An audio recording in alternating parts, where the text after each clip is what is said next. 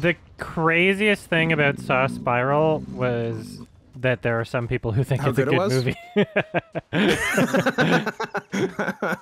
I was gonna it's say, not like is in a- it possible that you watched the movie wrong? I would just love to hear what about it they liked. That's what I want to know. Look, Adam, it's just a dumb horror movie where you're supposed to turn your brain off and enjoy it. Also, it's a serious immersive horror experience. You know, that's a funny callback, but that's kind of what it was trying to be, you know? What? It still had like some traps, but it was taking itself so much more seriously. And Chris Rock was like just completely not aware of himself and thought that he was doing a serious role and that every time he screamed it wasn't funny. like it was it was one of those it was like Ashton Kutcher and the butterfly effect sort of thing. It was like Oh, you don't even it. realize What a- what, what you're a doing good right example. now. Yeah. what a good example. Like you're just Kelso. Uh, also, Chris Rock's not a good actor. Chris Yeah, he really isn't. actor. He's a Great funny stand-up, comedian. bad actor. Yeah, he's not really Yeah. a good actor. The entire movie just screams about how pretentious it is because it's like this is a more mature Saw film. And even in the fucking interviews, Darren Lynn Bousman's like, I Even that phrase alone is funny. Yeah, you can see him in interviews. He's like, I was 25 when I directed Saw 2, and I've grown up a lot since then. This isn't like a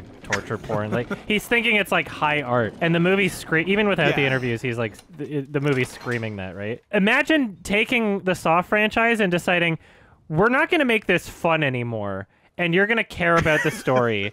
And it's literally the most boring story with characters that don't have any dynamics with each other.